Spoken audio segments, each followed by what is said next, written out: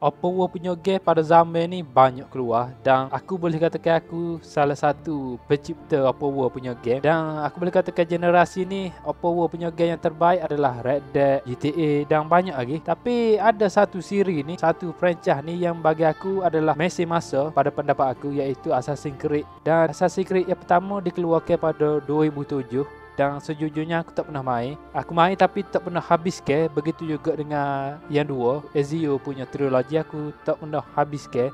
Aku punya first experience Assassin's Creed aku main sampai habis adalah Assassin's Creed 3 iaitu bersetting ke America Revolution dan start daripada situ aku aku jadi terfikir eh game ni adalah game yang buat benda sejarah macam bagi tahu sejarah balik. Jadi start daripada situ aku tertarik. Aku lepas pada tu aku jadi follow Assassin's Creed ni dan sejujurnya aku kembali untuk main satu dengan dua tapi tak pernah habis dan kita diberi pula dengan Assassin's Creed 4 Black Flag dan bagi aku situ yang lagi membuat aku saya pada franchise ni. Sebab aku tak pernah terfikir pun aku boleh main game Pirate of War dan boleh menjelajah Caribbean. Jadi aku tak pernah terfikir pun. Tapi memang Caribbean ni memang aku minat. Kalau korang follow cerita uh, Jack Sparrow apa ni Captain Jack Sparrow uh, aku lupa nama filem tu. Uh, aku lupa nama. Kalau Jack Sparrow tu korang dah tahu kot. Lepas pada tu sebab yang yang tiga dengan empat ni aku boleh kata ke story yang berkait dan yang ketiga ni aku main adalah Rogue. Ni yang aku paling suka bagi aku antara karakter yang paling best pada pendapat aku iaitu Shane Patrick Cormac. To never compromise the Assassin Brotherhood.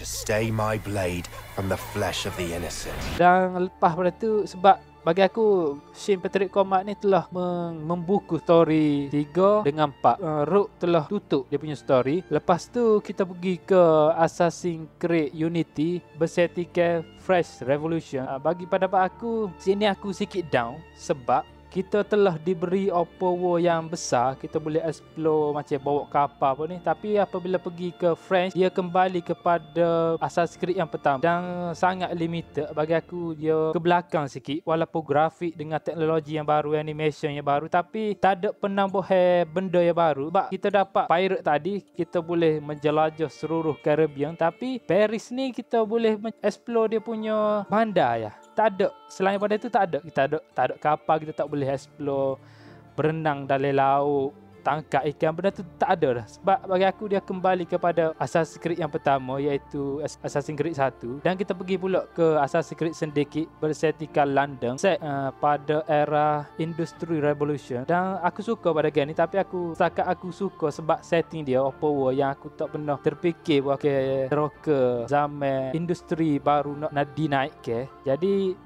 aku suka uh, Assassin's Creed sedikit sebab setting dia.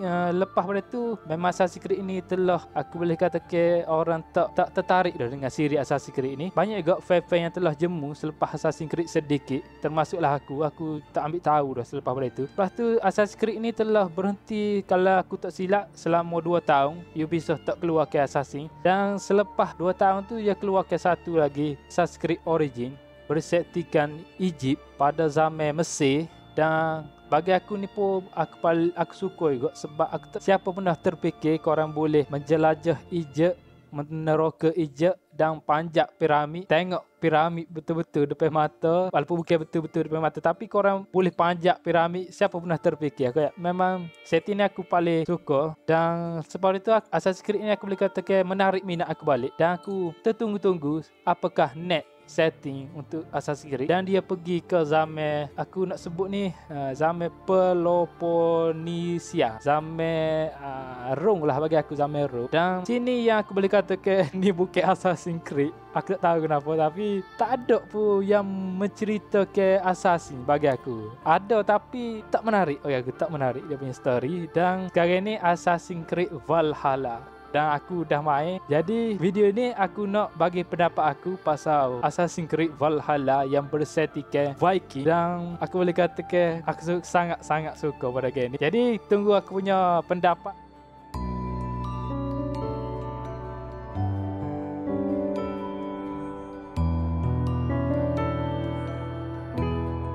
Okay, ini pendapat aku pasal Assassin's Creed Valhalla. Aku suka game ni tapi aku tak boleh kata ke semua orang akan suka. Dan dia game ni adalah Assassin's Creed Odyssey yang telah di-risking dan masuk dimasuk ke Assassin. Jadi uh, korang kena expect macam tu. Aku sebelum aku beli game ni memang aku excited sebab aku nak main Ubisoft punya Oppo punya game. Jadi aku tak expect banyak tapi bila aku main ni aku boleh kata ke dia dia mengatasi aku punya expectation tu. Benda ni lagi baik daripada aku punya expectation. Jadi aku sangat suka game ni tu yang aku boleh cakap. Tapi sebenarnya aku tak habis lagi main game ni. Aku tak habis lagi main dia punya story. Dia punya dunia aku dah explore semua. Aku dah buat side misi. Dan aku boleh katakan dia punya side misi ni menarik. Dan kadang-kadang tu aku rasa game ni macam Witcher. Tapi of course Witcher lebih terbaik sebab dia punya dialog dia punya pilihan tapi kat Valhalla ni aku rasa tak terbaik sangat dia punya pilihan dialog tu. Jadi dia punya story aku nak ringkas je. Atau Viking yang duduk di Norway telah travel pergi ke England dan set up camp bina bina camp dan kita banyak habis masa dekat camp tu kita upgrade camp macam tempat-tempat untuk kita beli barang. Jadi dia punya misi kalau tanya aku sama macam dulu ke berulang. Bagi aku dia dia sama, dia macam misi yang berulang tapi lebih menarik bagi aku. Dan dia banyak banyak jenis misi bagi aku. Dan misi yang aku paling enjoy misi yang aku bagi macam list untuk kita camp. Bukan camp dia lebih kepada tolong orang untuk menawang kerajaan. Macam macam, macam tu lah dia punya misi yang Aku tak tahu kena cakap ni side misi ke ataupun misi utama. Sebab aku tak tahu lagi Sebab aku tak main lagi dia punya misi. Aku just explore Tapi aku progress sikit lah Dia punya story. Jadi yang aku paling enjoy dia punya misi Adalah misi camp tu sendiri.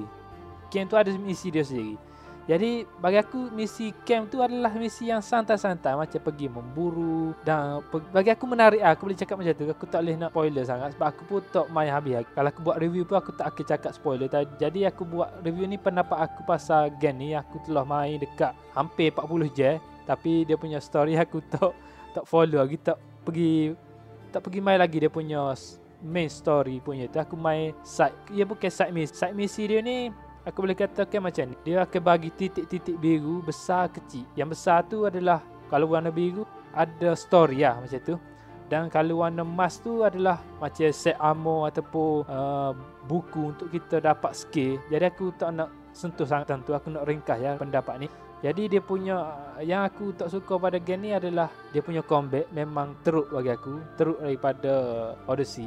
Jadi aku suka game ni sebab dia punya power dan dia punya side quest pun dia punya dunia tu penuh dengan cerita-cerita yang menarik yang lucu. Jadi aku boleh katakan aku suka game. Tu je aku boleh cakap. Kalau korang nak main game ni korang expect kalau korang dah mesti korang dah tahu Odyssey macam mana. Jadi korang expect benda ni macam korang expect macam game ni akan teruk lah tapi korang stay main.